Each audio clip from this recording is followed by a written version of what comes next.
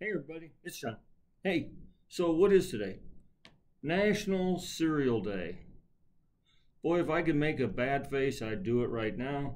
Um, like I said yesterday, I was really hoping it would change to be Bacon Day. Um, being a celiac, being intolerant uh, to gluten, I have no use for cereal. Uh, so with that, let's look forward and what, what do we got coming up? Um, proofreading day. Well, that should be interesting. Um, first off, if there's no pictures, how are we ever going to be able to proofread it? Oh, wait, no, we're supposed to be able to read. So, with that, um, I'll see what I can figure out for National Proofreading Day. But as far as I'm concerned, we need to put a vote in for a different day for cereal. Talk to you soon.